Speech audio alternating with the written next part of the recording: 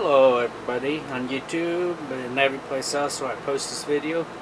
We're going to be doing a live demonstration of chroma, chroma key um, digital uh, effects. What we're basically going to do is we have a wall with cheap green construction paper and we're going to superimpose an image of uh, the Autism Education Center on the back.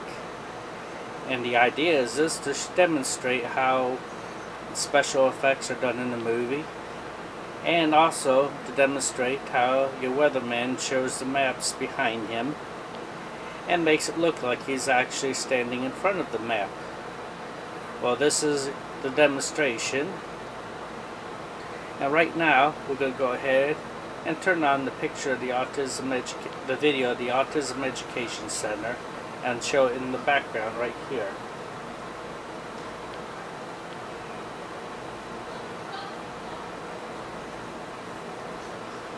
As you see, this is pretty easily done, and it was done with free software using the Kdenlive video editing system for Linux.